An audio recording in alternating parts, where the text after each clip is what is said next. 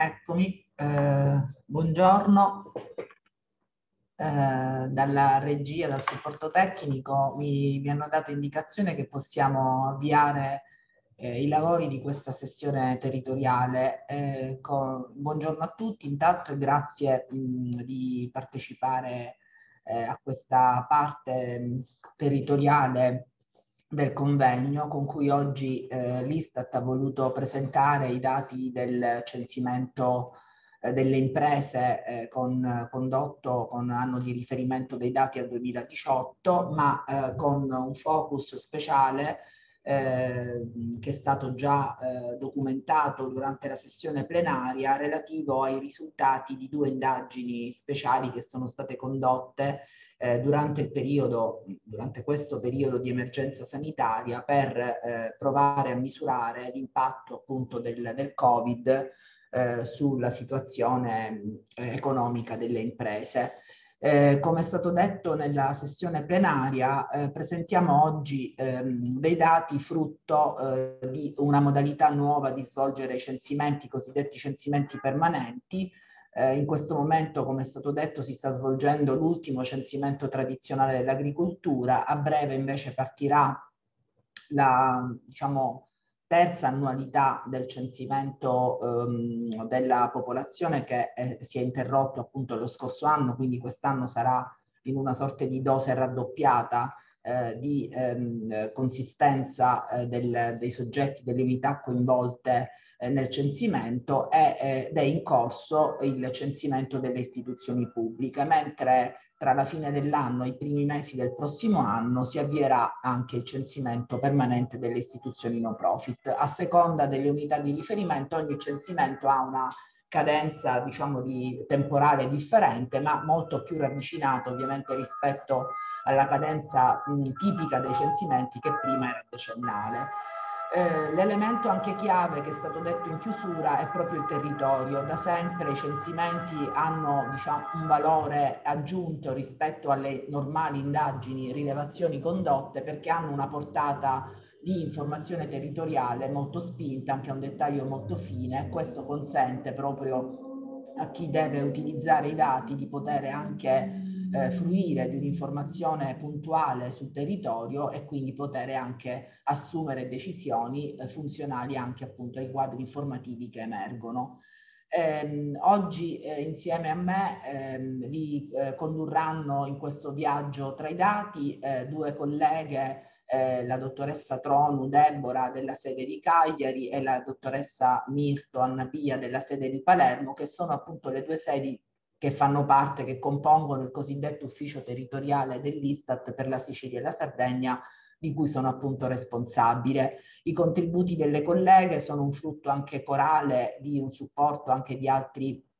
eh, due colleghi appunto che hanno aiutato eh, a, a, confezionare i contributi, il collega Andrea Arru e il collega eh, Francesco Paolo Rizzo e eh, una volta eh, eh, completati diciamo, questi primi due contributi eh, che eh, presenteranno in una chiave un po' integrata e trasversale eh, il, il, resoconto di alcuni report territoriali che sono stati appunto pubblicati da Istat a seguito dell'uscita dei dati di carattere nazionale per dare proprio conto della valenza territoriale dei dati del censimento delle imprese, ma anche di quello che di territoriale eh, si può estrarre proprio da queste indagini speciali che sono un frutto, come già stato detto, una sorta di sottoinsieme poi di imprese che hanno risposto eh, a eh, un questionario composto da 20 domande che è stato somministrato proprio in due momenti, diciamo a maggio e a novembre del 2020, appunto per dar conto un po' dell'impatto del, del Covid.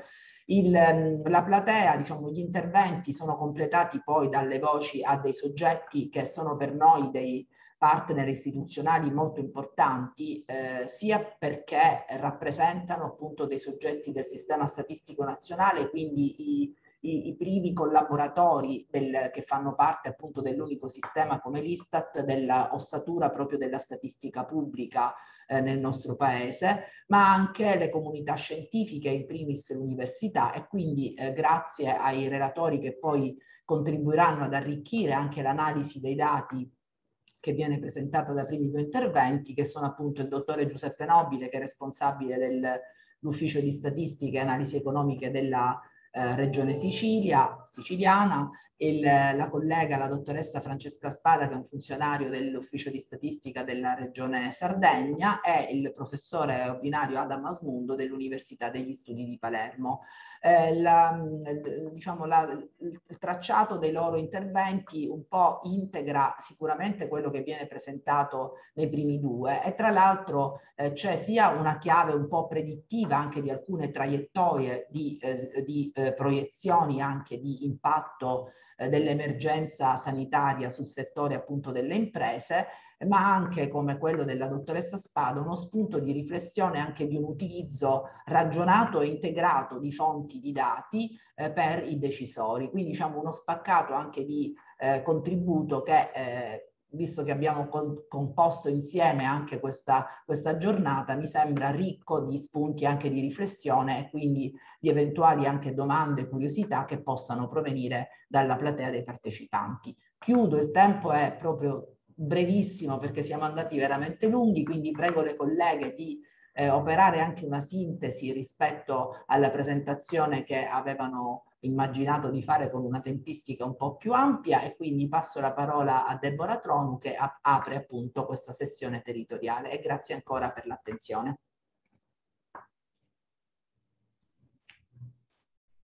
Grazie dottoressa Abate, un saluto a tutti, condivido lo schermo. Eh, dunque, ehm, la presentazione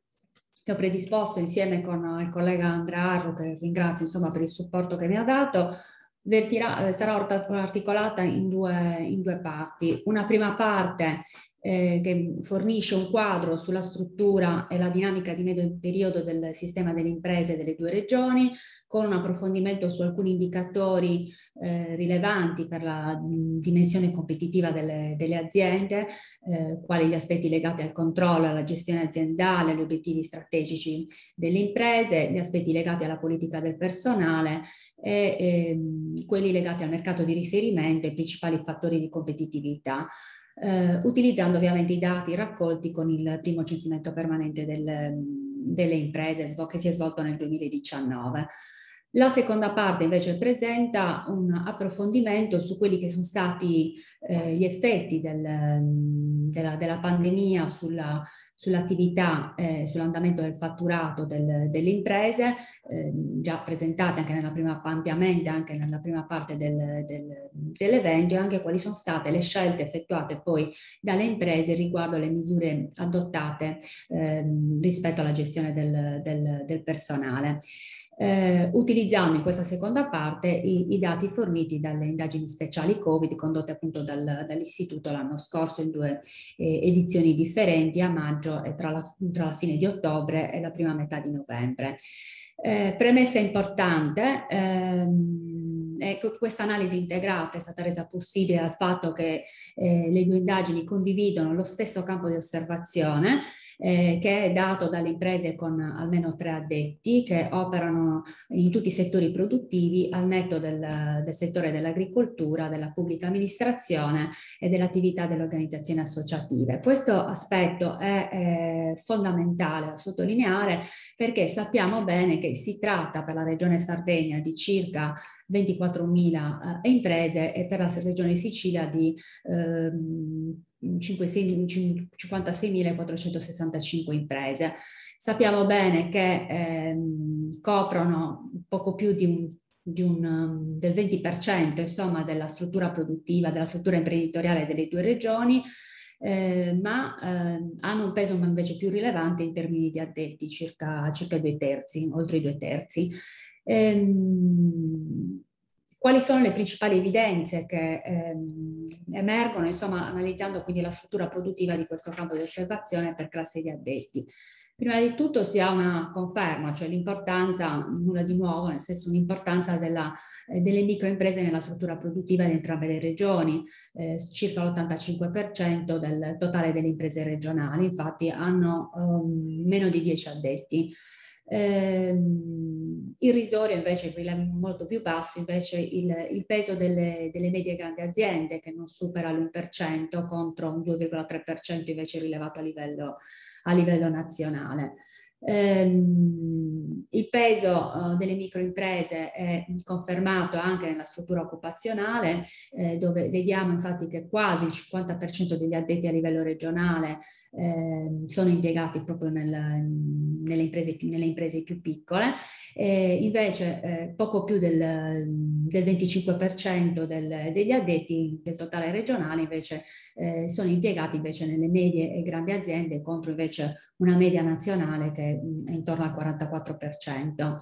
Rispetto alla dinamica di medio periodo cosa si osserva? Si osserva uh, un calo delle imprese più consistente in Sicilia, 2, meno 2,6%, ehm, e invece in Sardegna abbastanza in linea con quello che si osserva a livello, a livello nazionale.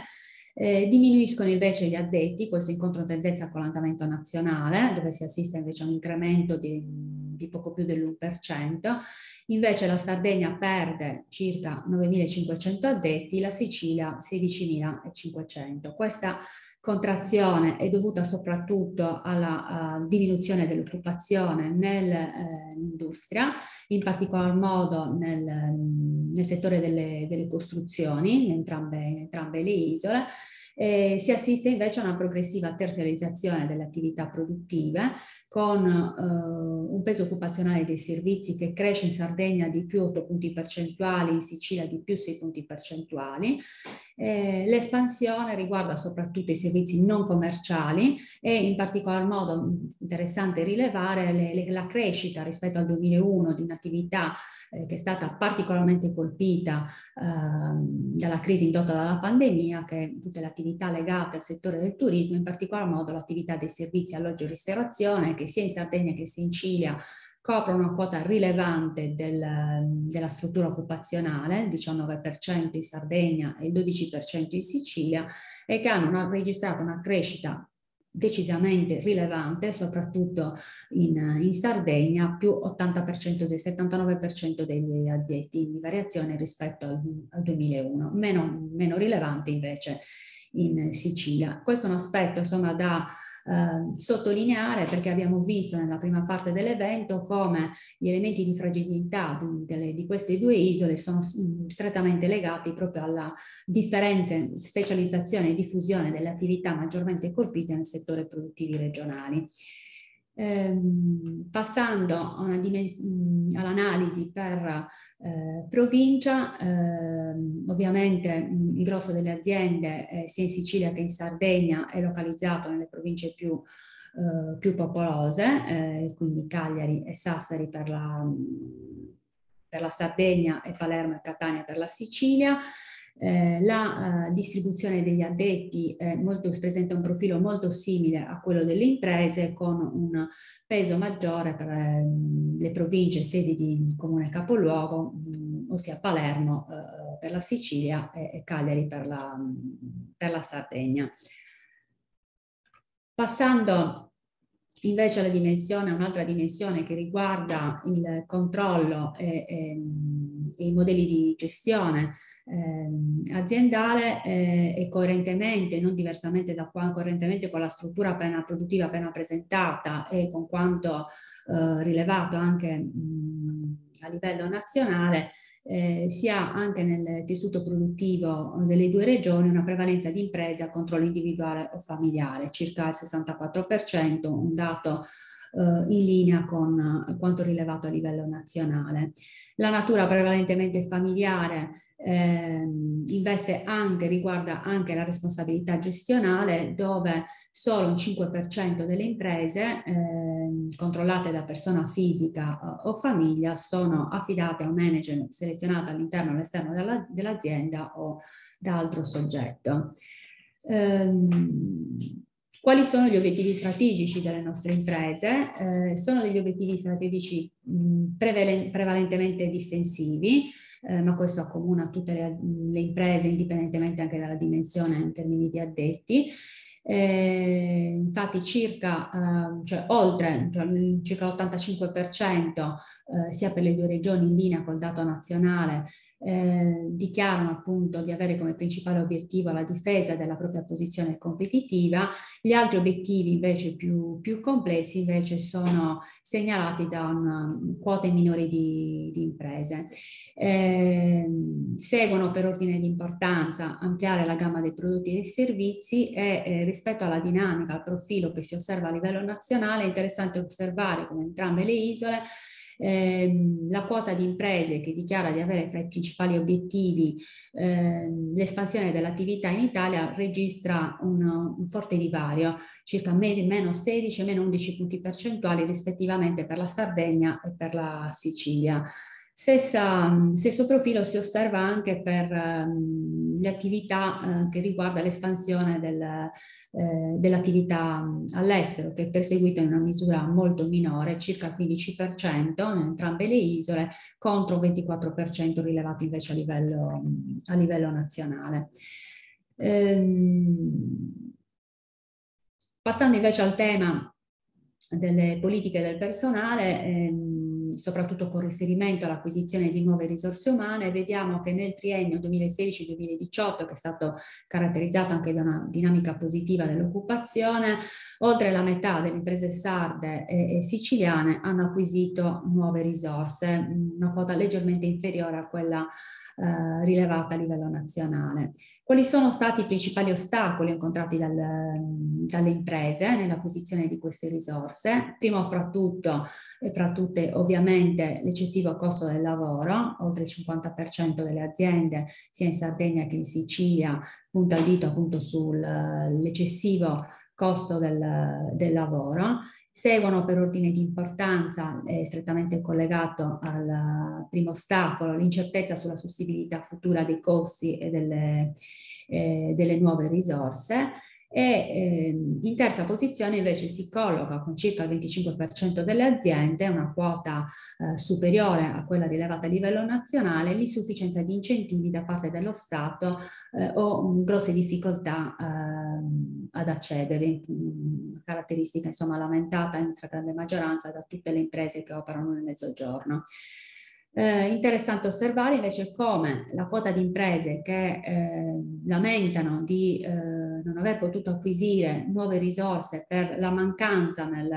eh, nel, nel mercato di eh, personale con le adeguate competenze tecniche e trasversali richieste una quota decisamente inferiore a quella rilevata a livello nazionale, meno 6 punti per la Sardegna, meno 8 punti in Sicilia per quanto riguarda le competenze tecniche. Eh, e vediamo come questo, questo aspetto sia ovviamente più sentito dalle imprese di, di, maggiori, di maggiori, dimensioni. Eh, quindi ehm, questa, questa, slide quindi evidenzia come eh, sostanzialmente ci sia una minor eh, difficoltà da parte delle nostre imprese nel eh, reperire personale con le competenze richieste, nonostante i ben noti e bassi livelli di istruzione delle, delle, delle due isole. Eh, coerentemente con questo dato vediamo che anche eh, gli investimenti in termini di formazione non obbligatoria ehm, delle aziende sono eh, decisamente eh, inferiori rispetto a quanto rilevato. Eh, Deborah, hai 5 minuti. 5 minuti, ok, quindi devo andare a Quindi, vabbè, ehm, sono decisamente inferiori perché ehm, il 35%, 30% delle imprese con almeno 10 addetti hanno svolto attività di formazione diversa da quella, da quella obbligatoria. Anche con riferimento al mercato di, riferimento, um, il, le due isole presentano una, un profilo molto simile, eh, operano prevalentemente sui mercati locali o, o, o regionali e eh, si rileva una scarsa operatività riferita ai mercati, ai mercati nazionali, quindi mh, verosimilmente insomma, la condizione di insularità delle due isole insomma, penalizza notevolmente il raggio d'azione eh, delle, delle, nostre imprese e questo si rileva anche se si analizzano i dati insomma, in termini di, eh, per settore di attività mh, economica. Eh, principali punti di forza sono soprattutto i, la qualità del prodotto, eh, la professionalità e la competenza del personale e i, i prezzi di vendita. Invece altri eh, aspetti come la capacità di diversificare, adeguare l'offerta alla domanda sono ritenuti invece dei fattori chiave che danno una quota minore di, di impresa. Rispetto alla, invece agli ostacoli alla capacità competitiva emerge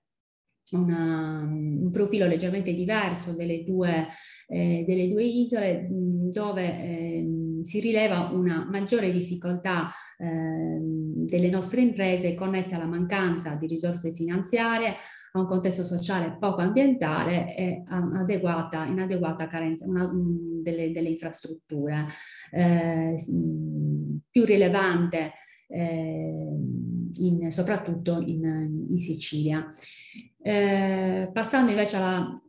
parte relativa agli effetti dell'emergenza sanitaria sullo stato di attività delle imprese, eh, vediamo che è stato detto anche all'inizio del, nella prima parte dell'evento, eh, sia la Sardegna che la Sicilia sono state tra le regioni maggiormente colpite eh, probabilmente proprio perché per la,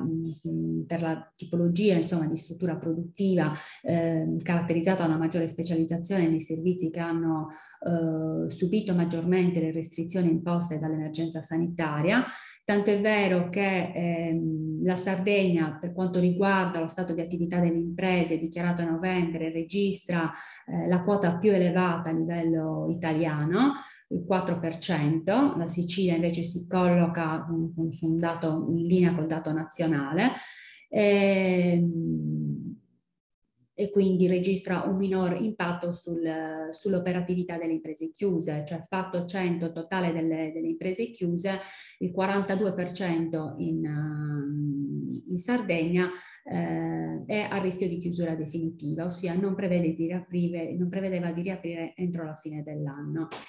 Eh, quali effetti si sono avuti sul, sul fatturato, sull'andamento delle vendite? Eh, anche qui ehm, le, le, due regioni sono state fortemente penalizzate, eh, circa due terzi delle imprese, oltre due terzi delle imprese dichiara di aver subito una riduzione di fatturato e anche qui le due regioni registrano un triste primato, nel senso che soprattutto la Sardegna con la più elevata quota di incidenze di, di imprese che eh, dichiarano di non aver realizzato fatturato, un 4% contro circa il 2% rilevato a livello nazionale. Invece la Sicilia eh, si colloca intorno um, all'1,7%. In Sicilia invece si rileva una delle quote più rilevanti invece di, di imprese che dichiarano riduzione del fatturato maggiore del 50%. Eh, fra le più rilevanti, eh, fra le più rilevanti a, a, livello nazionale. Interessante osservare come questa dinamica, la stessa dinamica, sia osservata anche con la rilevazione condotta a maggio rispetto al bimestre di marzo e aprile 2020, sebbene ovviamente gli effetti sul fatturato nella, eh, rilevati nella seconda edizione ovviamente siano meno, abbiano dei livelli decisamente, decisamente inferiori. Infine, quali strategie, per concludere, insomma, quali strategie hanno adottato le imprese? Eh, il 40% delle, riguardo alla tutela eh, del, del, lavoro, eh, il 40%, quindi una quota ancora mh, rilevante, ma decisamente inferiore rispetto a, a, quella rilevata a maggio, dove si attestava intorno al 60%, quindi il 40% delle imprese hanno fatto ricorso alla cassa integrazione guadagno, altri strumenti insomma, per, eh, di supporto del costo del lavoro in eh, Sardegna si rileva maggior ricorso a misure di contenimento del personale, rinvio delle assunzioni mancato rinnovo dei contratti a tempo determinato in Sicilia invece un minor utilizzo delle misure temporanee per ridurre il costo del lavoro, come le ferie o la riduzione di ore e dei turni, ma un maggior ricorso ai licenziamenti. In entrambe le isole la quota di imprese che dichiara di aver utilizzato ricorso anche alla formazione aggiuntiva è leggermente superiore insomma, al dato rilevato a, a, livello, a livello nazionale. Eh, in tutto sono circa il 70% le imprese con almeno tre addetti che hanno adottato almeno una misura di gestione del personale, una quota in linea con quanto emerso a livello nazionale, ma inferiore rispetto a quanto rilevato, quanto rilevato a maggio. Eh, quindi questi dati insomma sottolineano quanto eh, le due isole insomma, siano state particolarmente colpite dagli effetti della pandemia eh, proprio per eh, le caratteristiche stesse della struttura produttiva eh, delle due isole particolarmente specializzate in settori legati al turismo e al commercio e anche per le caratteristiche della struttura produttiva in, caratterizzate da una prevalenza di, eh, di microimprese con una scarsa operatività nei mercati, nei mercati sovranazionali e sovranazionali. Eh,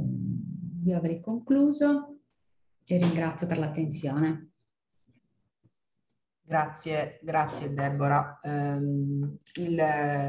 L'intervento successivo è in, in, continuità con la presentazione appunto fatta da Deborah Trono perché eh, le colleghe hanno sostanzialmente ehm, eh, esplorato il report, i report territoriali che, abbiamo, che l'Istat ha pubblicato, sono stati 21 appunto che sono, che sono disponibili sul sito dell'Istat, eh, sono articolati all'interno appunto in vari eh, sottoparagrafi e quindi le colleghe hanno suddiviso sostanzialmente i temi trattati dal report in un'ottica appunto trasversale per il territorio, anche poi valutando su queste stesse tematiche gli esiti delle due rilevazioni di cui abbiamo parlato, queste appunto speciali. Un, um,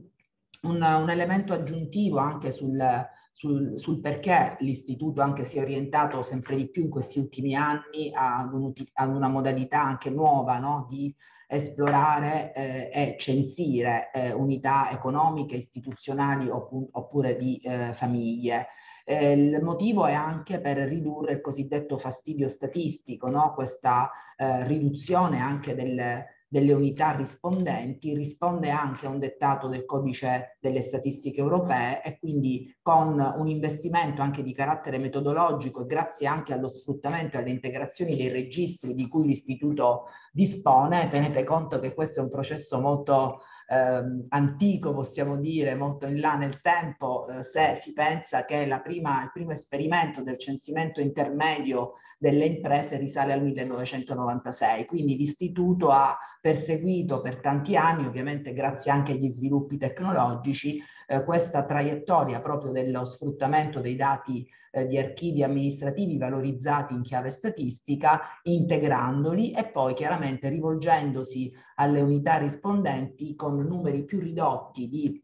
unità di eh, appunto coinvolti nelle indagini per poter anche ridurre appunto il cosiddetto fastidio statistico di risposta ai vari questionari e tra l'altro le imprese sappiamo che sono un soggetto eh, abbastanza ehm, eh, diciamo, eh, chiave nella, nella, nel, per, il, per, la risposta appunto al patrimonio informativo poi, di cui l'Istat appunto dispone. Eh, passo la parola adesso alla collega mh, Anna Piamirto che prosegue appunto in questo viaggio tematico dei dati del, sul settore delle imprese, trattando in particolare i temi dell'innovazione, della finanza, delle tecnologie, queste traiettorie di sviluppo appunto dettate da alcuni elementi, parametri eh, rilevati dal censimento e poi un tema focus speciale che è stato trattato per le due regioni che è quello della sostenibilità. A te Anna Pia la parola. Grazie, eh, condivido lo schermo. Allora, ehm, questo intervento appunto come già anticipato è stato confezionato insieme al collega Paolo Rizzo, entrambi lavoriamo appunto alla sede della Sicilia, eh, dell'ufficio territoriale per la Sicilia e la Sardegna. Ehm, gli argomenti, i temi di questa presentazione li ha appunto anticipati la dottoressa Abate, eh, continueremo quindi questo percorso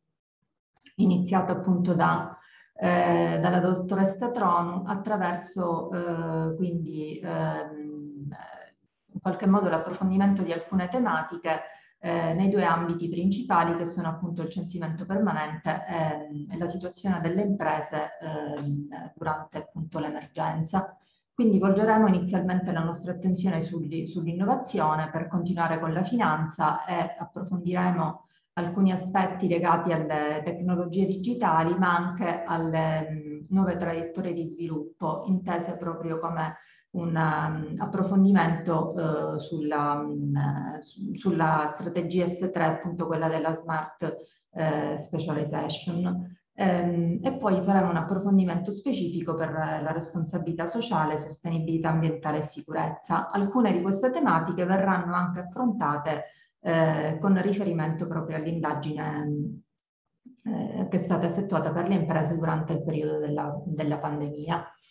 Allora, ehm, il primo di questi argomenti riguarda proprio i progetti di innovazione. Eh, in particolare notiamo subito come le imprese sarde e quelle siciliane che sono state impegnate in progetti di innovazione sono circa il 30%, eh, quindi circa una, una, impresa su tre ehm, con una quota eh, che, che è lievemente inferiore al benchmark nazionale. Se eh, volgiamo la nostra attenzione ai settori di attività economica, vediamo che l'innovazione eh, più diffusa è quella tra le imprese che offrono servizi non commerciali, eh, con riferimento al dato della Sicilia, appunto, che eh, saranno le barre gialle per tutta la presentazione. Ehm, invece dati eh, sul settore del commercio, quindi per la Sardegna, eh, con le barre in blu, ehm, hanno visto prevalere appunto la quota di imprese. Ehm, la parte destra del grafico invece eh, ci dà una, uno spaccato delle imprese con utilizzo di piattaforme digitali che in questo caso sono in quota piuttosto eh, contenuta ma eh, in linea comunque con la media Italia, quindi al di sotto del 10%. Ehm, con riferimento alle fonti di finanziamento, argomento interessante, già trattato appunto eh, dai relatori della sessione plenaria in parte, eh, qui ci focalizziamo eh, in particolare sull'autofinanziamento che rappresenta la fonte di finanziamento più diffusa, tanto per le imprese eh, sarde che per quelle siciliane, eh, addirittura oltre 7, 8 imprese su 10, con delle quote che sono anche, ehm, quindi le vedete nella parte destra del grafico, eh, che sono anche diciamo, più rilevanti rispetto al benchmark eh, nazionale. Il tradizionale canale bancario invece, quindi il credito eh, bancario, eh, rappresenta eh, la fonte di finanziamento prevalente esterno, con una prevalenza del credito bancario a medio-lungo termine eh, rispetto a quella a breve termine. In questo caso ehm, la preferenza accordata dalle imprese siciliane e sarde è comunque eh, più contenuta rispetto al benchmark nazionale e lo vedete appunto in termini di punti percentuali. Ehm, infine anche il 10% delle imprese ricorre al leasing e factoring con delle quote che sono piuttosto in linea con il, ehm, con il dato eh, nazionale. Eh, le motivazioni del ricorso ai finanziamenti esterni sono principalmente ehm, le esigenze di liquidità. Ehm, per oltre la metà delle imprese, in questo caso eh, abbiamo escluso quelle, fi quelle finanziarie, ehm, ci siamo focalizzati con quelle oltre eh, appunto i 10 addetti. In questo caso eh, quindi abbiamo che per oltre la metà delle imprese eh, viene accordata la preferenza a questa tipologia di motivazione. Ehm, al secondo posto c'è il finanziamento di investimenti per l'ampliamento della capacità produttiva con una quota anch'essa eh, rilevante. Eh, un, primo già, eh, primo fattore di criticità invece viene registrato in funzione della, mh, degli investimenti legati alle tecnologie digitali che in qualche modo appaiono modesti se confrontati con le altre eh, motivazioni. Parliamo invece delle tecnologie abilitanti, argomento interessante innovativo ehm, che si rivolge proprio alle, a quelle attività eh, ad alta intensità di conoscenza, ad alto investimento in ricerca e sviluppo, eh, a cui corrisponde una forza lavoro altamente skillata in particolare per la Sardegna hanno prodotto tecnologie abilitanti eh, il 5% delle imprese e le hanno utilizzate il doppio di queste, quindi circa l'11%. Anche per la Sicilia abbiamo un trend eh, di questo tipo con quote lievemente superiori, quindi abbiamo il 7% delle imprese che produce tecnologie abilitanti e il 12% che le utilizza. All'aumentare della dimensione aziendale, e lo vediamo eh, da queste, anche da queste barrette in grigio, si rileva un aumento della quota di imprese che producono e che utilizzano tecnologie abilitanti, ma cresce, ehm, cresce il gap, quindi cresce il divario rispetto al dato eh, italiano, soprattutto per le eh, imprese di dimensione eh, più elevata. Ehm, con riferimento al settore di, di attività economica, ehm, da rilevare ehm, effettivamente che ehm, le imprese che producono e quelle che utilizzano sia in Sicilia che in Sardegna tecnologie abilitanti sono eh, prevalentemente presenti nell'industria eh, rispetto a, al settore dei servizi.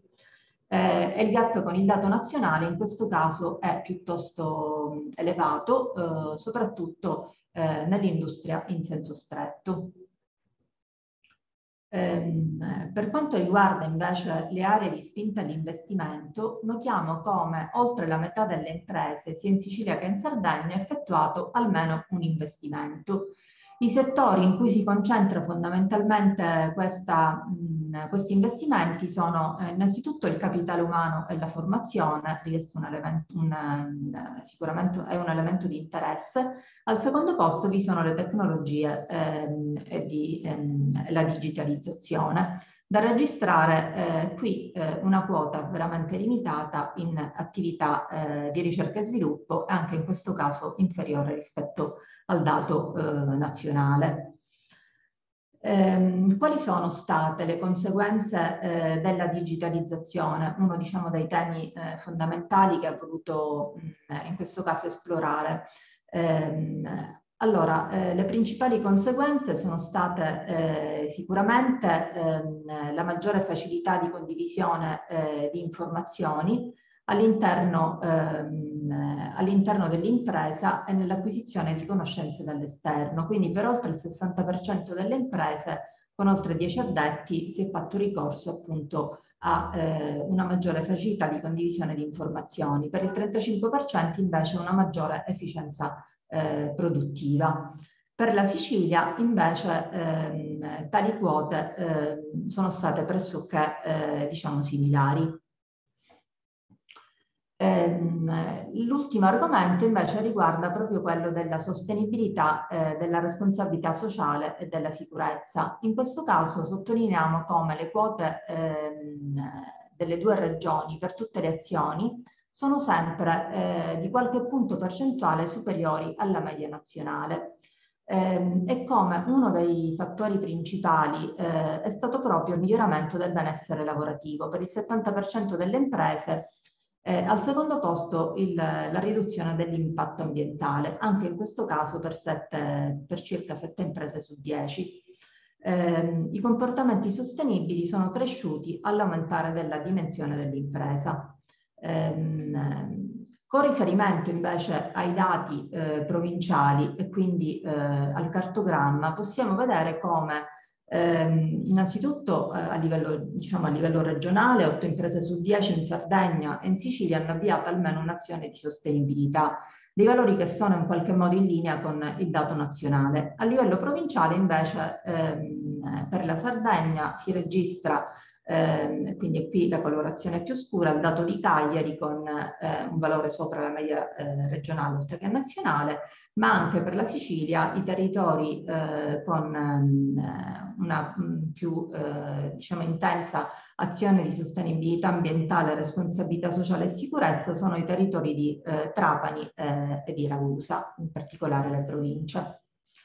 Ehm, L'ultimo argomento che riguarda ehm, il focus su impresa e responsabilità sociale ha riguardato la classificazione delle tipologie di iniziative in ehm, proprio categorie ehm, che riguardano ad esempio le iniziative sportive, nel caso della Sardegna, che hanno avuto il principale ambito di intervento per il 12% delle imprese, con una quota anche superiore rispetto al dato eh, nazionale. E inoltre le iniziative di contrasto eh, invece alla povertà e al disagio sociale e umanitarie eh, sono proprio quelle che si, eh, sono in qualche modo eh, distinte eh, per le imprese della Sicilia, eh, con una quota in qualche modo lievemente superiore al, um, al dato nazionale. Inoltre possiamo notare nella, nella parte centrale del grafico come oltre la metà delle imprese sarde siciliane ha considerato abbastanza rilevante eh, o molto rilevante la sicurezza del territorio e anche la dotazione infrastrutturale. Quindi gli aspetti della sicurezza in qualche modo sono stati apprezzati e ritenuti fondamentali di più rispetto a quelli della competitività. Eh, la seconda parte dell'intervento verte invece sugli ehm, andamenti appunto delle, mh, i profili delle imprese eh, con riferimento all'indagine COVID, COVID, in particolare la seconda che è stata effettuata a cavallo tra ottobre e novembre del, del 2020. In questo caso ehm, sono stati ripresi un po' gli argomenti della prima parte del focus e quindi ehm, gli strumenti per soddisfare il fabbisogno di liquidità eh, al primo posto abbiamo l'accensione di un nuovo debito bancario con il 39% delle imprese sarde e il 34% eh, delle imprese siciliane. Ehm, ehm, al secondo posto in questo grafico abbiamo ehm, la quota di imprese che non ha fatto ricorso ad alcuno strumento ed è anche questo eh, diciamo interessante da eh, evidenziare in linea quindi 3 imprese su 10 in linea con il dato nazionale. Ehm, il ricorso alle attività liquide presenti in bilancio ha costituito anche questo un uh, elemento fondamentale, soprattutto per le imprese eh, della Sardegna. Eh, sulla rotazione dei prestiti ha già eh, diciamo, anticipato alcune informazioni appunto il dottor Faramondi questa mattina, eh, quindi si è fatto riferimento alla quota di imprese che hanno richiesto prestiti assistiti da garanzia pubblica e sono circa ehm, 4 imprese su 10 e tra queste 8, oltre 7, quindi quasi 8 su 10 ehm, ehm, ha in qualche modo ricevuto eh, il prestito per l'ammontare che era stato eh, richiesto. Questo aspetto eh, riguarda proprio eh, le conseguenze dell'emergenza sulla comunicazione digitale. È uno degli aspetti fondamentali. Qui in questo grafico eh, dove abbiamo messo in ascissa la percentuale di adozione ehm, diciamo ante-Covid e in ordinata il numero di punti percentuali, quindi la crescita che c'è stata eh, di questi temi, ehm, ci fa vedere che in realtà su tutte e quattro le tematiche c'è stata una particolare espansione, come era stato un po' anticipato anche questa mattina, su eh, alcuni territori della, mh, del Mezzogiorno, in, in questo caso per, sia per la Sicilia che per la Sardegna. Quindi eh, c'è un'espansione della connettività a banda ultralarga eh, che vediamo nella parte destra del grafico, eh, sia per la Sardegna soprattutto, ma anche per la Sicilia e sono già con percentuali di, ad di adozione ante-Covid, diciamo, eh, piuttosto sostenute. Eh, il secondo aspetto riguarda proprio l'espansione della rete internet eh, in mobilità per entrambe le isole Ehm, in questo caso eh, c'è stata anche qui un'espansione eh, di oltre appunto 10 punti percentuali. Ehm, e poi il terzo aspetto riguarda l'incremento molto consistente della comunicazione eh, interna dell'azienda, come appunto eh, per esempio le videoconferenze, la messaggistica, eh, anche, questo, anche, per questo c'è stata una crescita eh, veramente sostenuta pur partendo, scontando una situazione di partenza eh, un po' eh, diciamo eh, deficitaria. L'ultimo aspetto ha riguardato proprio il potenziamento delle infrastrutture in termini di apparecchiature per il lavoro a distanza, appunto come per esempio lo smart working, ehm, anche in questo caso, eh, pur partendo da una situazione diciamo non ottimale, quindi eh, con una percentuale di adozione addirittura inferiore in certi casi al 10%, si sono avuti però degli incrementi eh, di 20 eh, e oltre mm, punti percentuali.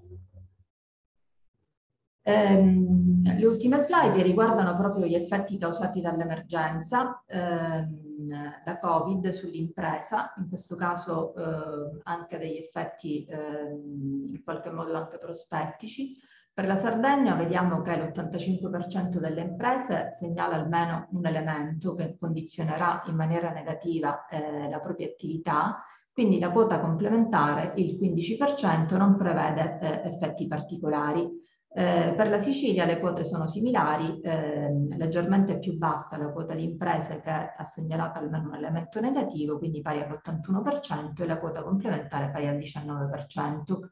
Eh, in questo caso ehm, da segnalare semplicemente gli effetti principali che sono proprio i rischi operativi ehm, di sostenibilità delle attività in quote, come vedete, sempre eh, superiori rispetto al benchmark nazionale, la riduzione della domanda ehm, a seguito di ehm, dell'attuazione dei protocolli sanitari, questo è sicuramente un fattore, ehm, un fattore chiave, eh, e anche la,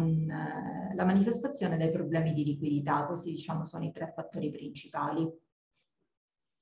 Eh, con riferimento alle strategie che l'impresa ha adottato eh, o sta in qualche modo negli ultimi mesi eh, valutando di adottare, eh, per la Sardegna vediamo che eh, il 58% dichiara di aver pianificato una, una forma di eh, reazione, quindi una forma di strategia diciamo all'emergenza.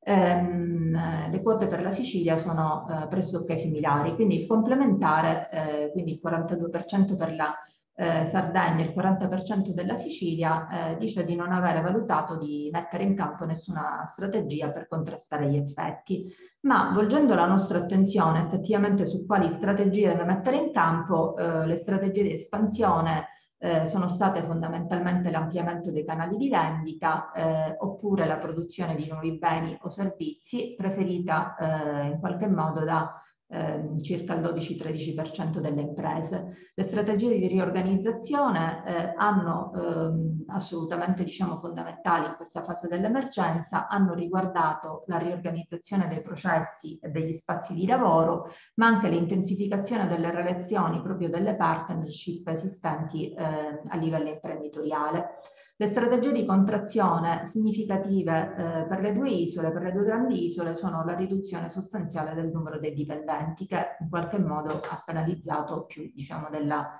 ehm, del resto di, della media Italia.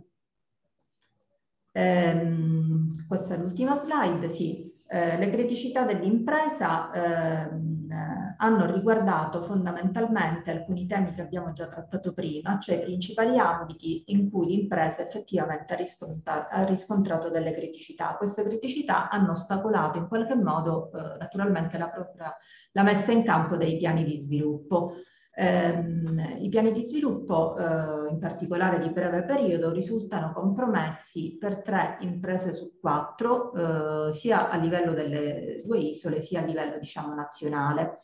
Eh, quindi per la Sardegna ancora una volta è proprio la necessità di liquidità e la gestione di fonti di finanziamento a rappresentare la criticità rilevante per eh, circa il 36%-37% delle imprese, eh, vedete con un gap rispetto al dato nazionale piuttosto sostenuto, pari a 8 punti percentuali. La riduzione della domanda turistica, della domanda domestica, eh, risulta anche questa eh, fondamentale per il 35% delle imprese. Eh, per la Sicilia la situazione è un po' invertita, anche se i due fattori sono sempre gli stessi a essere prediletti, e cioè la vendita sul mercato nazionale rappresenta la criticità maggiore, al secondo posto la necessità eh, di liquidità.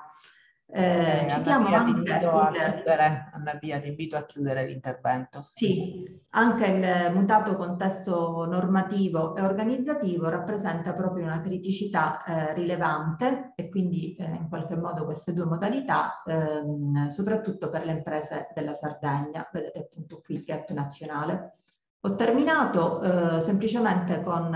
eh, questa slide che in qualche modo ehm,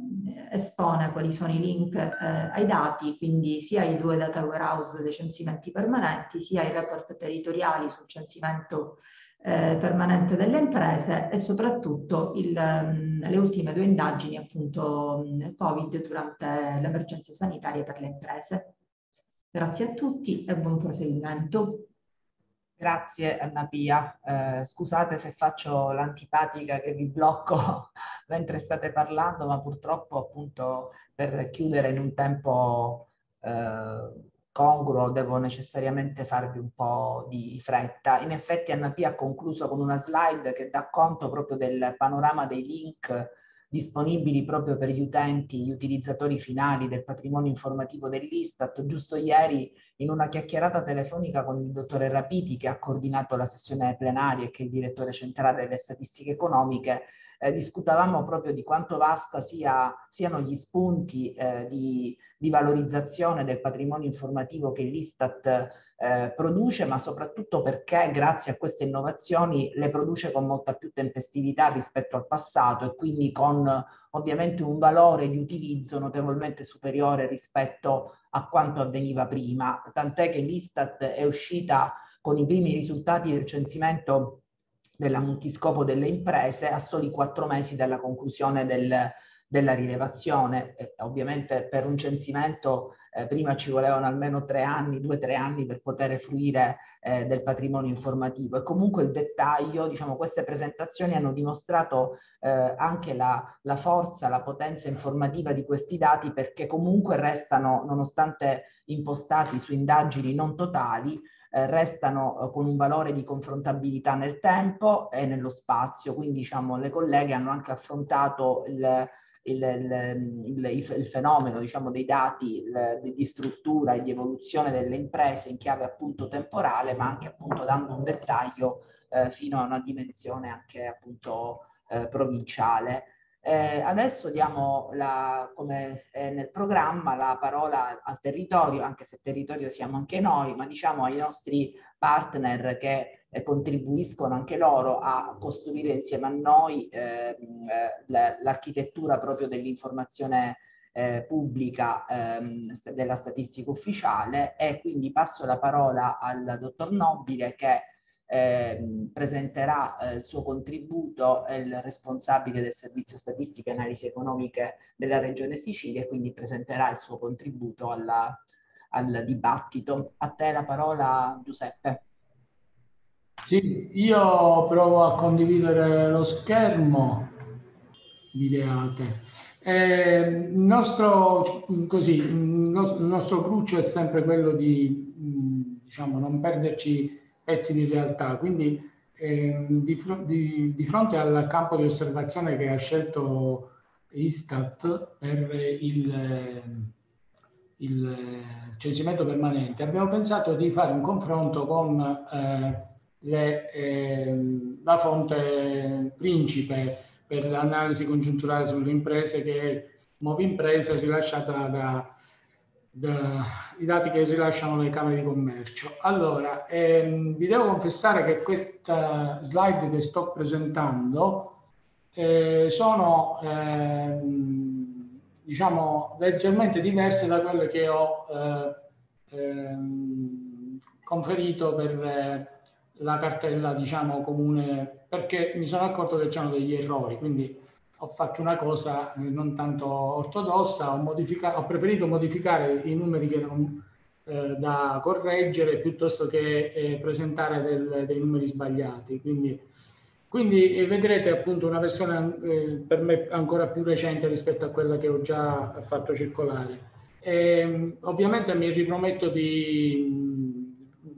fornire subito la versione ultima eh, appena sarà possibile all'organizzazione. Ehm, il confronto quindi è fra il censimento permanente delle imprese e Movi Imprese in Sicilia. Il, eh, I due ehm, campi di osservazione, come sapete, sono oh, diversi. Noi abbiamo la, la, per quanto riguarda il censimento permanente, il, ehm, il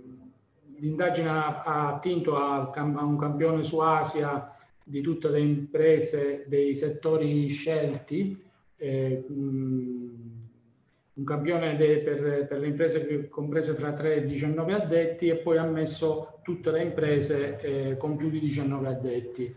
Invece Movi Imprese è, è l'anagrafe di tutte le imprese, eh, ovviamente catalogate in, in termini amministrativi anche, quindi attive registrate, società di capitale e quant'altro. Ehm, il vantaggio di usare Movi Imprese, come tutti gli addetti ai lavori sanno, è che eh, ci consente una verifica tempestiva mh, della struttura economica eh, di un territorio e, e quindi è, è una, una, fonte che va continuamente presa a riferimento per l'analisi congiunturale. Ovviamente i dati censuari hanno tempi, tempi diversi. Comunque il confronto qui è fatto eh,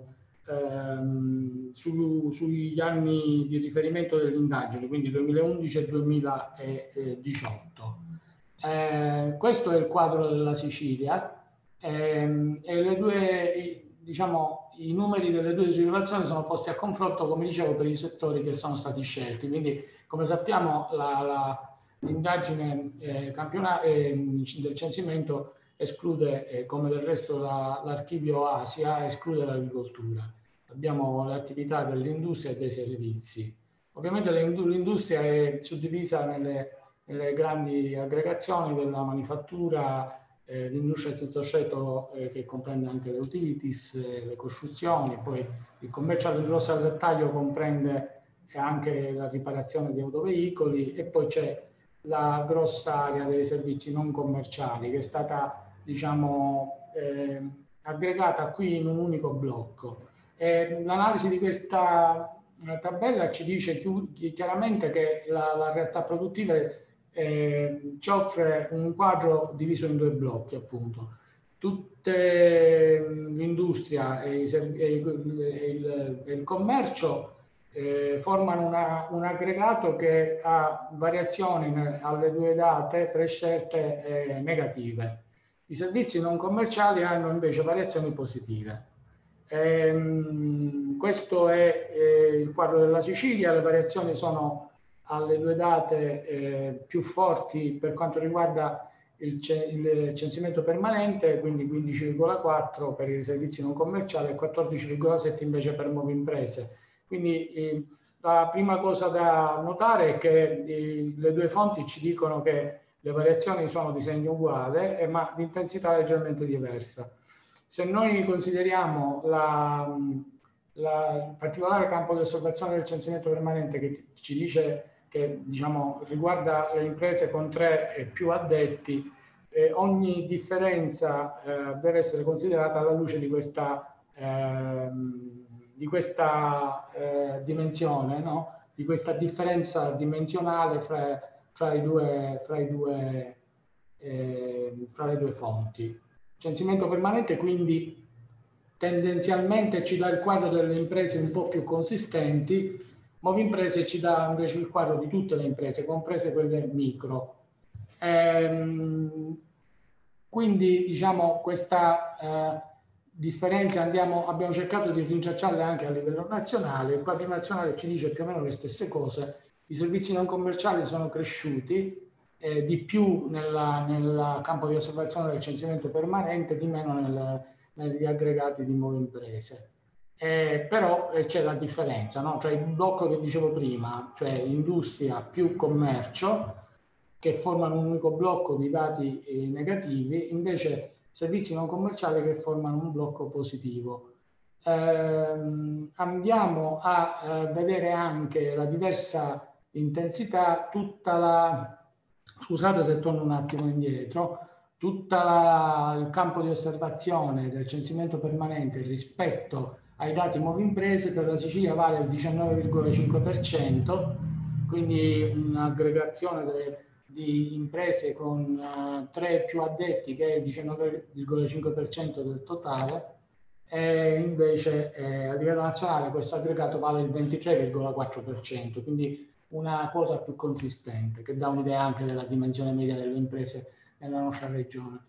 Eh, andiamo a fare un'analisi più in dettaglio. Per le imprese in Sicilia che appartengono al blocco delle delle, delle attività eh, che dicevo prima eh, sono risultate in calo, abbiamo l'eccezione delle utilities, cioè sì, le aziende che lavorano ehm, la fornitura di energia elettrica, gas, eccetera, e quelli che riguardano invece i servizi eh, alla volatilità come reti fognarie, attività di gestione dei rifiuti, eccetera, abbiamo una crescita. La crescita è anche nazionale ed è più consistente direi nella microdimensione perché abbiamo eh, un aumento consistente delle, di tutte le aziende che stanno nel campo nuove imprese e un po' meno consistente la crescita di tutte le aziende che stanno nel campo del censimento. Questo è uguale anche a livello nazionale. E può spiegarsi solo con la forte, ehm, i, i, i, cambiamenti politici intervenuti in questo settore,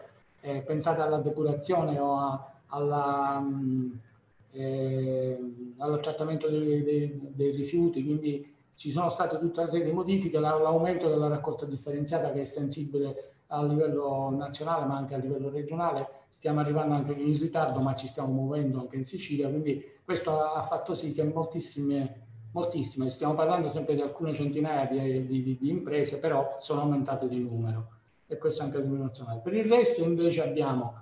un calo consistente delle costruzioni, un calo della manifattura e in Sicilia il grave, la cosa grave è che questo calo è più sensibile nella dimensione diciamo tendenzialmente maggiore, quindi nel campo di osservazione del censimento dove eh, torno a dire che c'è stato un aumento, cioè eh, torno a dire che si tratta delle, delle, delle imprese con tre addetti e più. E, ehm, comunque nel complesso io ho calcolato che i settori diciamo, che sono rappresentati in questa slide sono calati nella, nel campo di osservazione nuove imprese dal 52 al 50%, in quello invece eh, del censimento c'è un calo più consistente. Eh, per quanto riguarda la Sicilia i dati a livello nazionale più o meno sono di, questa, eh, di quest'ordine. Invece se andiamo a vedere il, le imprese che ehm, afferiscono alla, al campo dei, dei servizi non commerciali, noi vediamo una crescita, una crescita che sia nazionale che regionale, con alcune particolarità che vale la pena di segnalare. Noi abbiamo attività immobiliari di alloggio e ristorazione, informatica, sanità e servizi di supporto alle imprese che hanno un aumento maggiore su nuove imprese, quindi dimensione piccola. Invece le attività artistiche, l'istruzione e altre hanno una maggiore crescita nei dati censuari, quindi una crescita che vale la pena sottolineare perché in, in, diciamo, interessa la, la, fascia un po' più grande di dimensione. Quindi sono ehm, da segnalare queste, queste, sensibili variazioni che sono, eh, come vedete, più forti in Sicilia rispetto al dato nazionale. Eh, questo eh, incremento dei servizi non commerciali che va ovviamente eh, più uh, attentamente studiato per capire le, i dati qualitativi di queste, di queste imprese e le ragioni di questa crescita, si spiega anche con eh, l'andamento del valore aggiunto settoriale. Eh, ho messo a confronto i, la, le spezzate relative al valore aggiunto totale, al valore aggiunto dei servizi non commerciali in Sicilia e in Italia, dove si vede che il livello del 2011 è ancora non raggiunto in Sicilia perché siamo in una generale eh, recessione, in una generale caduta delle attività che non consente ancora di eh, recuperare il livello di attività del 2011. Eh, però, come vedete, la tenuta dei servizi non commerciali eh, eh, realizza un distacco dal resto delle attività sensibile, cioè abbiamo una tenuta eh, in termini di valore aggiunto di, di queste attività ehm, che è ehm, sensibilmente più forte di quella del resto delle attività economiche. A livello nazionale questo distacco è inferiore, c'è una, una, spezzata che lascia diciamo, intravedere un aumento dei servizi non commerciali che è di poco superiore a quello del resto delle attività economiche. Ehm, brevemente arriviamo alle conclusioni eh, per dire che diciamo, se si vuole riflettere quanto i dati del censimento rispecchiano i dati di nuove imprese, bisogna dire, come dicevo all'inizio, che c'è un'identità nei segni di variazione, ma, non, ma c'è diversa intensità delle tendenze. Il campo di osservazione è molto diverso tra le due aree, in Sicilia l'81% eh, ricade eh, al di fuori del campo di, di osservazione del censimento, in Italia il 76,5% e come dicevo ad Ammieri, un po' scherzando e citando un grande economista, questa è la misura un po' della nostra ignoranza rispetto diciamo, al, al, al bisogno informativo che abbiamo su un'area eh, produttiva e su una parte importante della struttura economica regionale in cui diciamo, regna diciamo, un po' l'ignoranza e un po' la sottodichiarazione dei, del, da parte dei soggetti eh, che gestiscono queste attività. Questo è ovviamente diciamo, da considerare. Invece le, le, utilities, dicevamo appunto, sono una parte in crescita, eh, però l'industria eh, regisce un calo nell'isola più forte che nella dimensione nazionale e nella dimensione diciamo, eh, superiore a due addetti che ehm, rende più grave i caratteri del, i, i caratteri del delfino regionale diciamo, è una, da considerare in termini ancora più negativi. I servizi non commerciali, come dicevo, manifestano una crescita che anche l'effetto della riduzione delle attività, delle opportunità occupazionali negli altri settori, perché se consideriamo la crescita dei servizi di alloggio e ristorazione, che è particolarmente forte in Sicilia nella dimensione molto piccola, ci, ci dà un'idea della prevalenza della microdimensione aziendale nel, in, questo, in questo settore di attività economica, però ci dice anche che ehm, le, attività, eh, diciamo, le tendenze di, di, di crescita delle, dei servizi di alloggio e ristorazione, ma anche delle attività di intrattenimento e di istruzione, eh, vanno comunque eh, ad essere identificate come eh, quelle parti dell'economia regionale che, in cui ehm, diciamo, gioca un ruolo molto importante l'industria culturale e del turismo nel, mod- nel modellare lo sviluppo regionale, anche se ovviamente questo non può essere l'esclusiva leva dello sviluppo regionale. Questo è quanto e vi restituisco la linea. Grazie, grazie Giuseppe per il contributo ehm, e anche diciamo, per la specificazione anche nell'utilizzo di fonti diverse, quello che noi sempre raccomandiamo agli utilizzatori, ma ovviamente tu sei un utilizzatore esperto di dati, eh, che nel momento in cui si utilizzano fonti diverse è chiaro che bisogna mettere in evidenza le differenze che ci sono tra queste fonti proprio nella, nel, mm, eh, nella comparabilità appunto dei dati, quindi altrimenti diciamo, si, si, rischia appunto di falsare poi le analisi e quindi di arrivare comunque a conclusioni non corrette. Quindi insomma il rigore sicuramente metodologico nell'approccio di eh, confrontare dati di fonti diverse è certamente uno anche dell'asset principali anche del nostro istituto. Grazie per il tuo contributo Giuseppe. Adesso dalla, dalla Sicilia passiamo, ripassiamo nuovamente alla Sardegna con la dottoressa Francesca Spada eh, che nella presentazione del, del suo contributo, eh, almeno visualizzando insomma, le slide che erano in quest'area condivisa, eh, credo che intenda proprio mettere a, in evidenza proprio il, il valore dell'integrazione proprio tra più fonti eh, per poter anche essere da sostegno come dovrebbero fare appunto gli uffici di statistica del, del Sistan per le amministrazioni di appartenenza, quindi per aiutare, per sostenere il decisore nell'orientamento appunto delle proprie politiche. E certamente il periodo dell'emergenza eh, sanitari è stato un periodo in cui eh, si è visto eh, quanto importante sia disporre di dati territoriali, in fondo il cambio dei colori eh, o tutto il piano delle vaccinazioni si sta basando proprio su dati e indicatori che hanno un valore differente da regione a regione, quindi diciamo le scelte poi della politica mm. sono differenti a seconda delle eh, differenti situazioni che si registrano nei vari territori e quindi eh, mette in evidenza la dottoressa Spada proprio l'importanza anche di una chiave di integrazione di più fonti e di eh, supporto appunto al decisore pubblico. A lei la parola, a te Francesca la parola per eh, l'intervento. Grazie, eh, condivido anch'io lo schermo. Intanto ringrazio l'Istat per questo invito, per questo importante momento di confronto sulla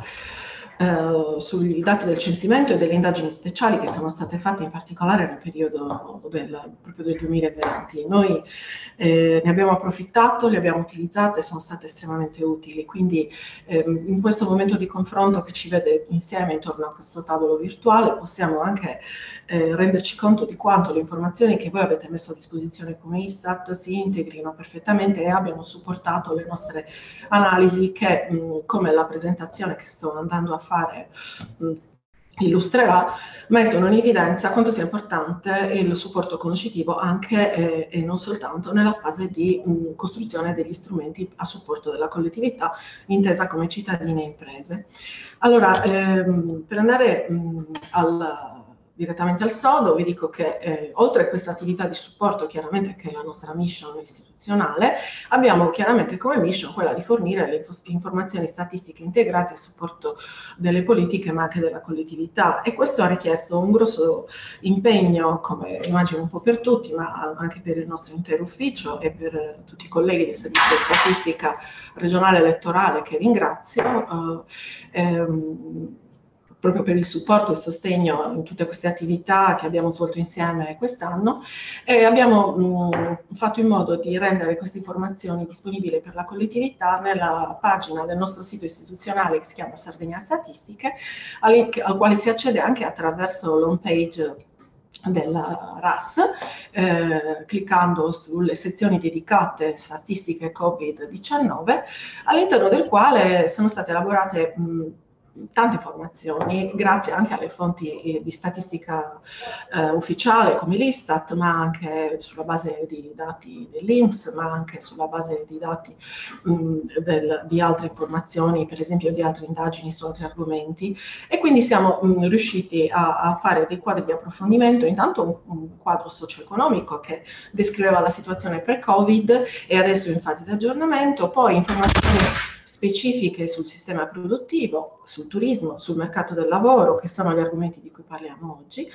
e anche approfondimenti sulle misure a sostegno del reddito, l'ultimo sulla violenza sulle donne e sull'argomento della mortalità, con il quale abbiamo cercato di seguire le pubblicazioni dell'Istat per dare ai cittadini regionali una, sempre un aggiornamento costante sull'impatto della mortalità a livello nazionale, ma soprattutto di carattere regionale.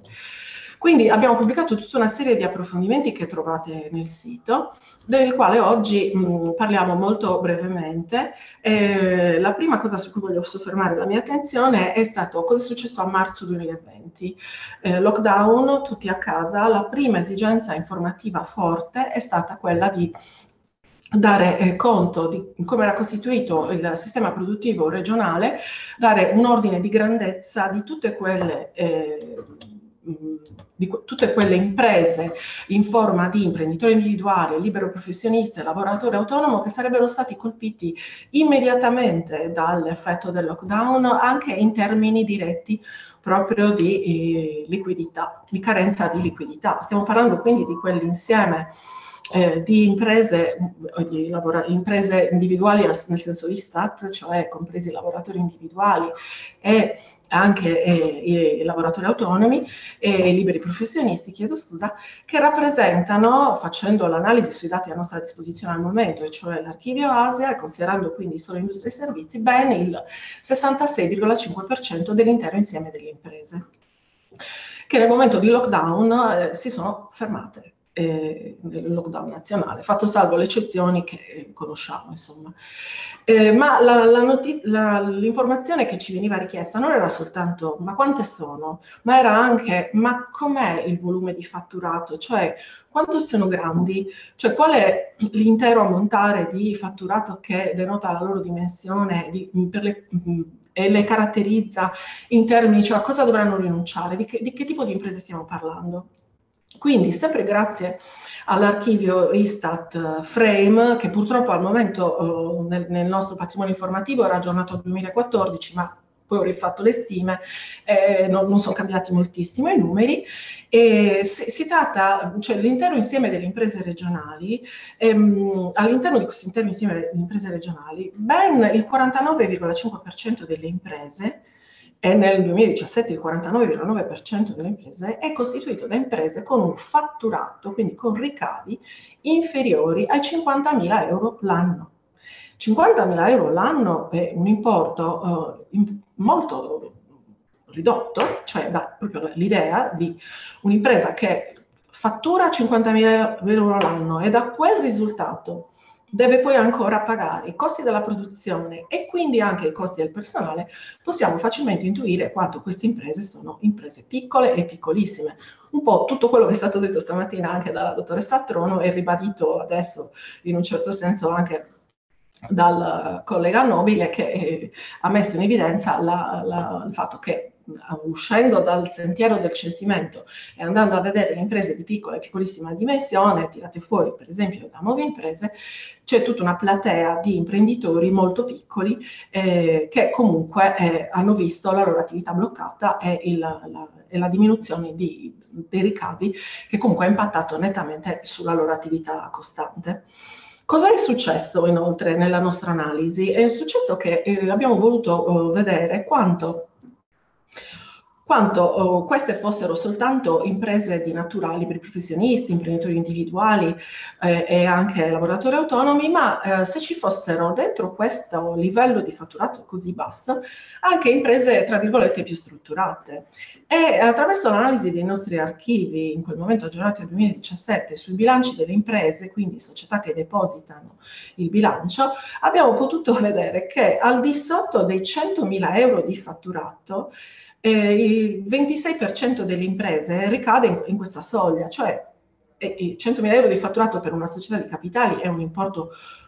piuttosto contenuto, ma la cosa ancora più importante è che pur appartenendo a questa categoria di società strutturate, All'interno della classe delle imprese al di sotto dei 100.000 euro, il valore mediano dei ricavi è pari a 40.000 euro, cioè stiamo parlando di imprese strutturate in forma di società di capitale che fatturano media, eh, come tendenza centrale 40.000 euro all'anno, quindi comunque stiamo parlando di imprese piccole, sebbene all'interno della categoria delle imprese più strutturate. Quindi questo era un warning per i nostri amministratori di, stare, di concentrare la loro attenzione non soltanto su alcune categorie di forme giuridiche, ma anche sulle imprese più strutturate che avrebbero potuto avere delle difficoltà concrete di liquidità che poi sono state registrate dalla vostra indagine fatta tra marzo e novembre eh, sulle imprese in stato di crisi.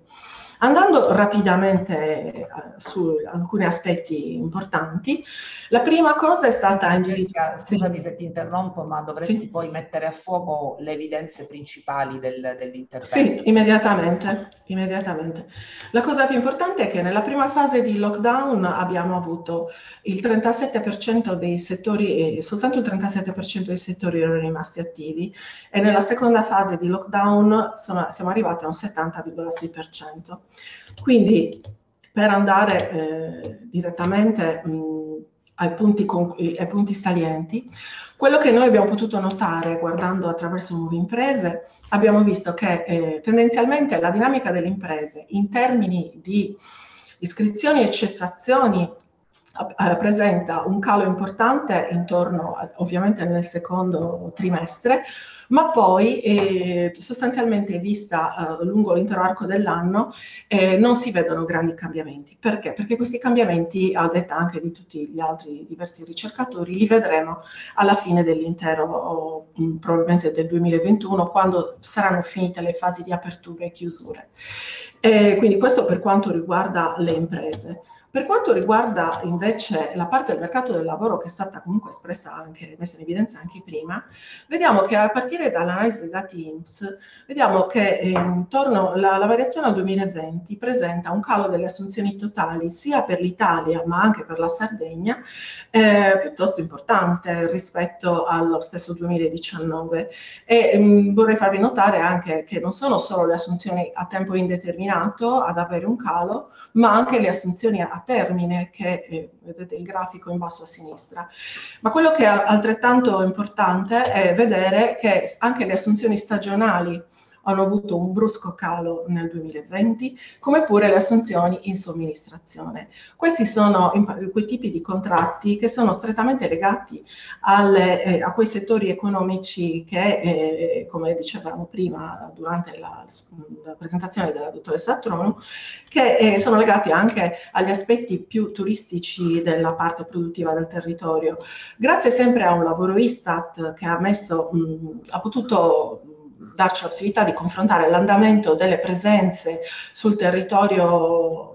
nazionale e regionale. E vediamo che l'andamento delle presenze nei mesi del lockdown è molto simile, anche otticamente siamo in grado di vederlo, eh, tra, eh, cioè nei mesi da gennaio a agosto la pubblicazione dell'Istat presenta, i dati sono molto molto simili, ovviamente nel periodo aprile-maggio abbiamo punte del meno 98% eh, per quanto riguarda gli italiani, gli stranieri e così via, ma tutto questo è legato al periodo del lockdown. Quindi la prima domanda che ci poniamo è ma questo poi è stato possibile recuperarlo successivamente? E dai dati che, cui, che noi abbiamo a disposizione, perché i dati nazionali nazionali ancora non sono disponibili. Nei dati provvisori che abbiamo a disposizione devo dire che purtroppo ancora non abbiamo recuperato tutte le presenze che rispetto al 2019 e questo non può che avere un impatto eh, piuttosto importante rispetto alle nostre attività produttive, considerato anche che, permettetemi di tornare un attimo solo indietro a questa slide, dove per concludere eh, vi metto in evidenza, un po' come ha fatto il dottor Nobile, eh, questo aspetto. Allora, eh, fatta 100 il, il, valore aggiunto del totale delle attività economiche, il grafico in alto a sinistra, nel 2000, e vediamo che eh, fino al 2019 eh, il totale delle attività economiche non ha ancora, della Sardegna ovviamente rispetto all'Italia, non ha ancora ri recuperato il gap che c'era ri rispetto al periodo della crisi dal, 2004, dal, 2008 al 2014. Quindi ad oggi che siamo nel 2019, eh, questi dati sono 2019, ma noi siamo nel 2021, ragionevolmente non, non siamo particolarmente, mh, cioè questi, questi, dati non tengono ancora conto di quello che è successo con il Covid.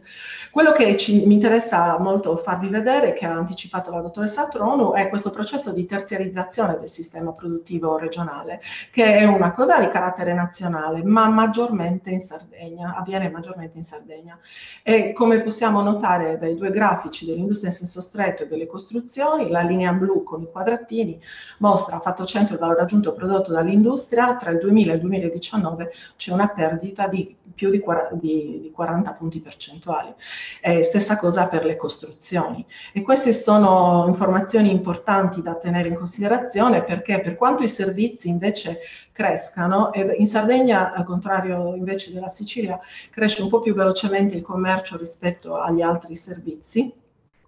questo aspetto è, piuttosto rilevante perché se i servizi erano quella parte che ci consentiva di crescere nel valore aggiunto, questo stop, questo lockdown che ha investito maggiormente la parte dei servizi più che l'industria, purtroppo ha, ha degli effetti abbastanza importanti per il nostro territorio di cui è indispensabile tenere conto.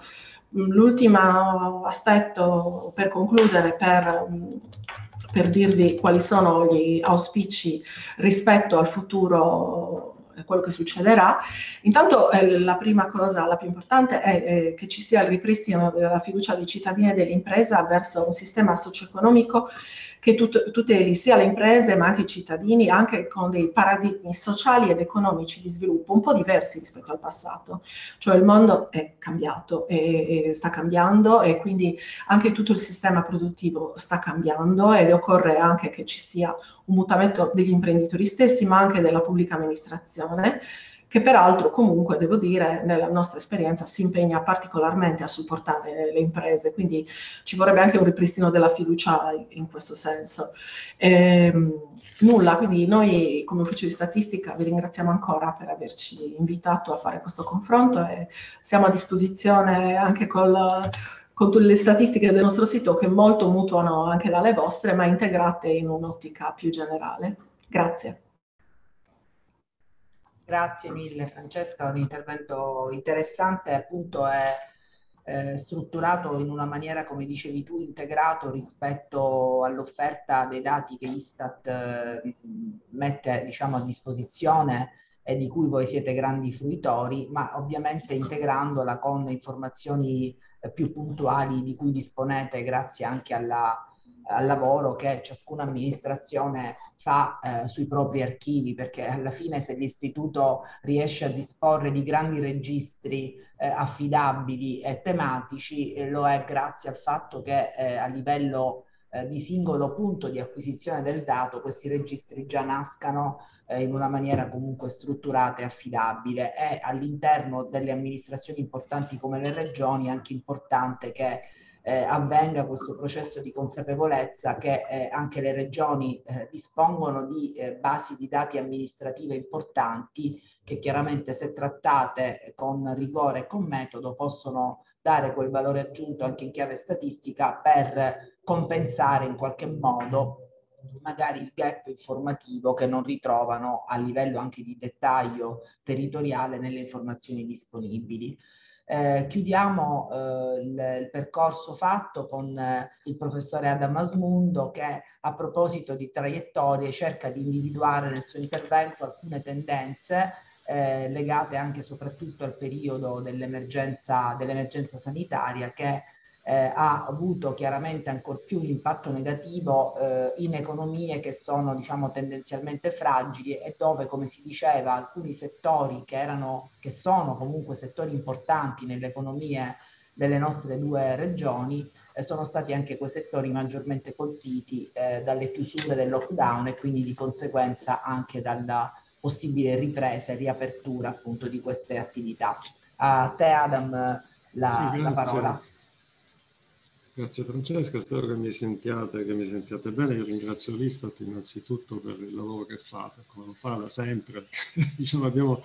bisogno di fonti certe, di fonti confrontabili tra loro nel tempo, nello spazio e questa è certamente la,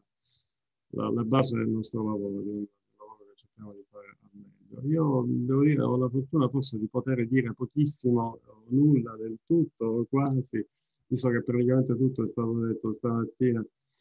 eh, proverò semplicemente ad aggiungere qualche considerazione alle cose appunto che sono state dette. Eh, inserisco la mia, la mia presentazione, spero che sia visibile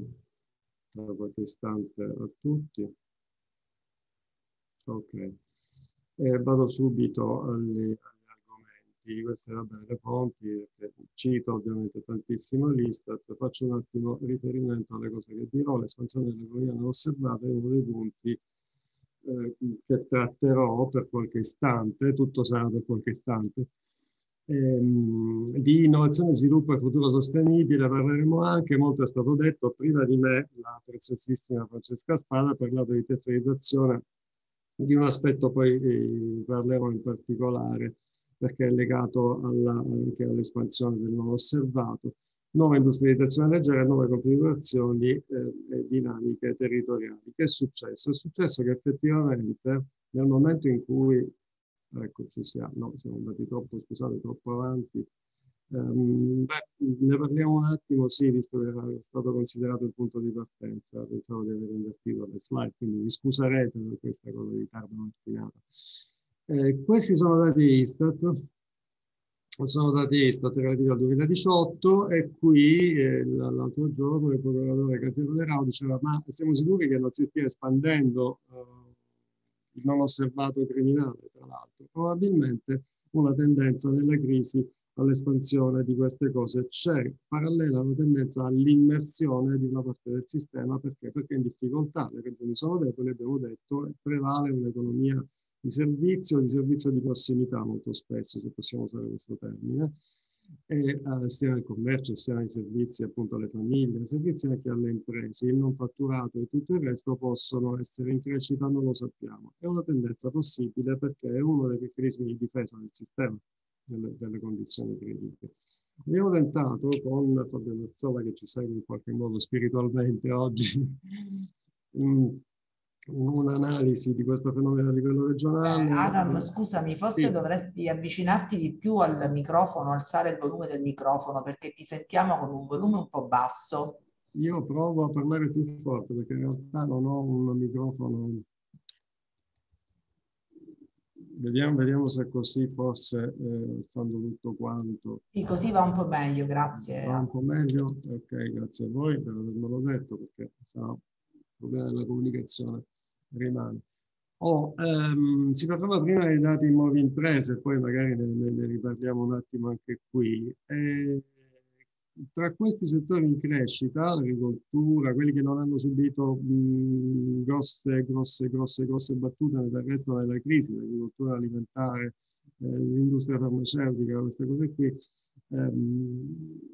ci sono delle, delle, delle,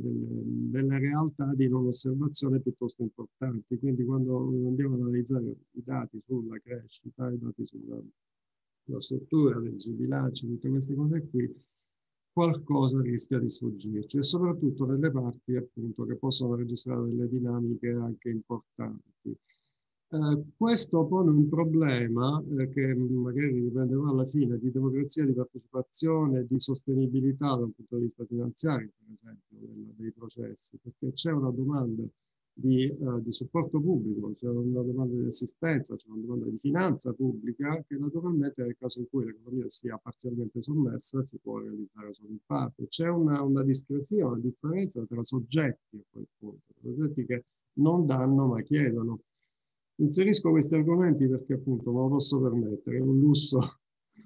che vi posso permettere. Non so se avete notato la, la quota dei servizi professionali eh, non ho notato nella slide precedente che la condizione della Sardegna non è molto diversa da quella della Sicilia, mm, se non probabilmente per alcuni aspetti settoriali. Questo si trova naturalmente nelle slide. I servizi professionali, una quota rilevante, un quinto dei servizi professionali nell'isola tende appunto a non, non rimanere osservato come valore aggiunto prodotto. Um, in questo lavoro ci eravamo rifatti con Fabio alla crisi partita nel 2007-2008 e la, la, flessione del PIL una leggera probabilmente ripresa, qualcosa, ma sempre al di sotto dei valori 2007-2008 a partire dal 2014 che è stata votata prima anche da Giuseppe Nobile e um, accanto a questo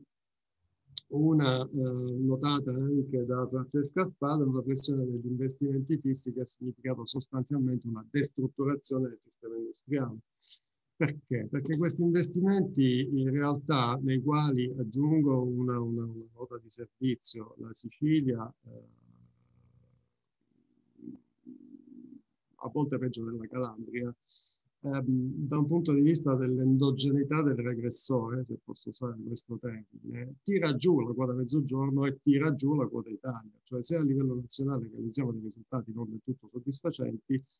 è sempre una media, può darsi che ci siano regioni che vanno molto meglio e altre appunto come in questo caso l'esempio di cui stiamo parlando che vanno decisamente peggio. Tuttavia con quella annotazione, che un quinto di quel peggio, mediamente un quinto di quel peggio, è invisibile o scarsamente visibile, se non all'Istat che che ce lo segnala.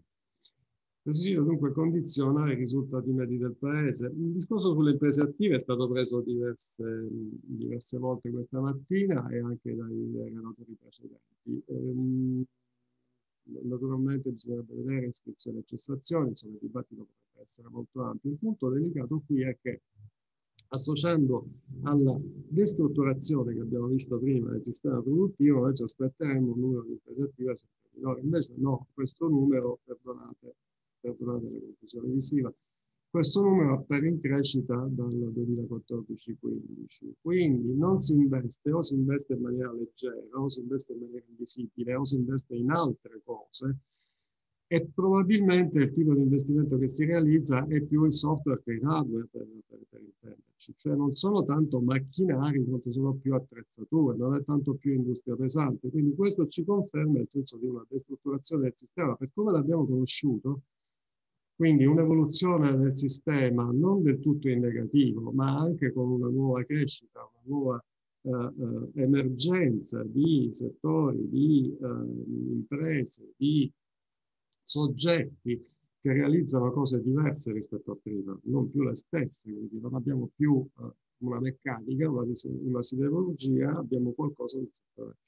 sul settore dei servizi che si muove in maniera eh, sensibilmente diversa. Aggiungo un particolare che eh, mi fa piacere per ragioni diciamo, sociali e politiche eh,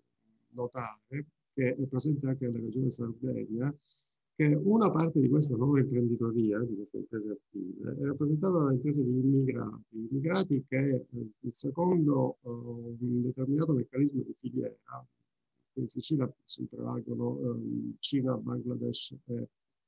e Sri Lanka, eh, tendono a, eh, dire, a, rappresentare qualcosa di, per esempio la Cina nel, in questo momento nel, nella ristorazione sta, sta, sta, pesando parecchio, con meccanismi di finanziamento che non sono soltanto quelli dell'indebitamento bancario, ma anche della partnership. Quindi eh, diciamo, sono esempi che, che, vanno, che, vanno, fatti, che vanno riportati e che vanno in qualche modo a incoraggiare anche quella imprenditoria locale, quella, quella voglia di fare impresa locale che ci può essere, che talvolta può essere presa da meccanismi di sfiducia e quindi non, non lanciarsi. Meccanismi di sfiducia che agiscono in maniera però particolare ovvero eh, una delle, delle, delle, tipologie di imprese che abbiamo visto crescere nel periodo è quella delle imprese immobiliari. Che è successo? Abbiamo visto un PIL calante, investimenti fissi lordi calanti, abbiamo visto tutte le crescere le imprese, tra queste sì, ci sono anche queste che fanno. Perché? Perché? Perché in realtà il risparmio bancario è cresciuto, risparmio finanziario è cresciuto, i depositi, i dati della Banca d'Italia, che non riporto qui, i dati della Banca d'Italia segnalano fortemente questo, nell'arco della crisi a partire dal 2007-2008, motivi prudenziali, motivi, motivi cautelativi, è cresciuto, è cresciuto, il deposito bancario, sono cresciuti i risparmi e questi risparmi hanno preso una via non tanto dell'investimento, come abbiamo visto, produttivo, non direttamente almeno dell'investimento produttivo, perché qualcuno che ha investito c'è anche fortemente, quelle sono sempre delle medie, e um, ha investito in immobili. Popolazione non in crescita, perlomeno popolazione diciamo autoctona, come dicevo una volta, non in crescita, ma eh, in crescita compravendita di appartamenti. Che si fa? Ci si fa il bed and breakfast, si fanno delle cose? Beh, probabilmente sì, questo sì, perché effettivamente le imprese turistiche tendono queste al, al dettaglio che l'informale tende a crescere molto. L'informale tuttavia che non porta dal punto di vista della eh, fiscalità, diciamo della, della, fiscalità generale, non porta tanti benefici quanti ne potrebbero portare. Ma ripeto, lì è un, un, un tema di patto sociale interessante da prendere, importante da prendere e da portare avanti anche in altri contesti. Dunque, la, la, la, conclusione a questo punto del, del, del, discorso potrebbe essere c'è un paradigma, un nuovo paradigma per la crescita? Probabilmente sì, cioè non cresceremo più facendo industrializzazione all'anni 50, ma al contrario puntando su quello che effettivamente il mercato chiede. Questa accelerazione eh, si ha in due direzioni, una quella della immersione dell'impresa o comunque del tentativo di sfuggire a una rilevazione, di sfuggire a una, presenza, che però è anche l'impossibilità all'espansione, verso l'espansione. Molte imprese hanno dichiarato noi ci difendiamo, proviamo a difenderci, puntiamo le nostre strategie sui meccanismi di difesa. Questo naturalmente è comprensibile, anche le porte aeree hanno il 51% dei, dei, meccanismi di autodifesa no? per non essere affondate, ma in realtà la parte espansiva, la parte di sviluppo è quella sulla quale dobbiamo necessariamente puntare. E in quale direzione? Bene, eh, stiamo vedendo che i temi della sostenibilità sono temi tutt'altro che tutt'altro che per belle anime, cioè significano eh, ristrutturare completamente il modo di produrre, cioè produrre in maniera ecologicamente sostenibile, produrre calore, produrre energia, produrre prodotti ecologicamente sostenibili che non rappresentino rifiuti un domani, cioè chiudere a un certo punto, qui ci sono anche degli aspetti normativi importanti, proibire di fare delle cose o aver proibito, essere proibiti di fare delle cose, doverle fare in maniera necessariamente diversa perché siano smaltibili o perché non siano rifiuti. Ecco, questa è una sfida che per le nostre regioni è assolutamente alla portata, è assolutamente accettabile, perché noi produciamo già cose, siamo fortemente concentrati nella produzione di cose che hanno un impatto ambientale virtualmente minuscolo, a parte l'energia virtualmente minuscolo, virtualmente minimo, che possono essere molto apprezzate, che possono essere molto apprezzate, si parlava di e-commerce, che possono essere vendute ovunque. Cioè, abbiamo scoperto con, con lavoro a distanza e con, uh, intanto vi ringrazio per l'attenzione, ma torno in video. Eh, ho sbagliato qualcosa, non riesco a interrompere. Scusate. Eh. Dicevo, sono tutte, sono tutte, cose che possiamo produrre con facilità, senza incrostazioni industriali terrificanti come possono esserci in altre regioni del centro-nord. Quindi le possibilità di crescita e di sviluppo le abbiamo e sono forti. L'importante è eh, dare un messaggio di fiducia, certamente, e cercare di intervenire sui meccanismi, su quelle criticità che si diceva prima, che possono impedire un percorso di sviluppo, diciamo, uh, molto più rapido di quanto non sia stato finora. Cioè, non è che le politiche per il mezzogiorno non ci siano state, non è che le politiche europee non ci siano state, perché queste abbiano relativo successo, perché non riescono a sviluppare pienamente il loro potenziale, evidentemente dipende o dagli attori, dai meccanismi di controllo, di valutazione, di monitoraggio, o ci si è dati degli obiettivi sbagliati. Questo francamente non lo vorrei credere che gli obiettivi fossero sbagliati, che altre considerazioni, che altre possibilità, che altre forme di relazione, di capitale sociale, diciamo, non del tutto positivo, generino un rallentamento dei processi di crescita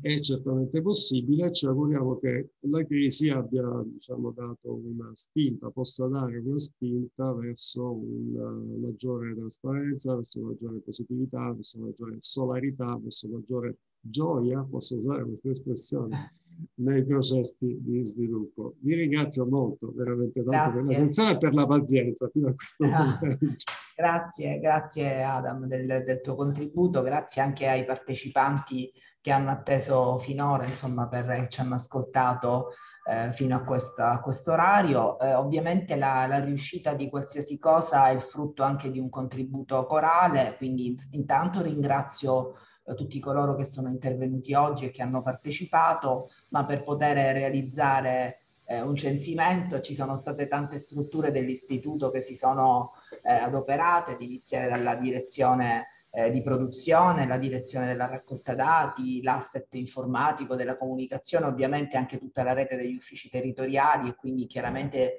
questo è il risultato anche di un lavoro fatto eh, con cura anche da molti colleghi eh, delle, delle strutture territoriali dell'Istat, ma ovviamente per l'evento di oggi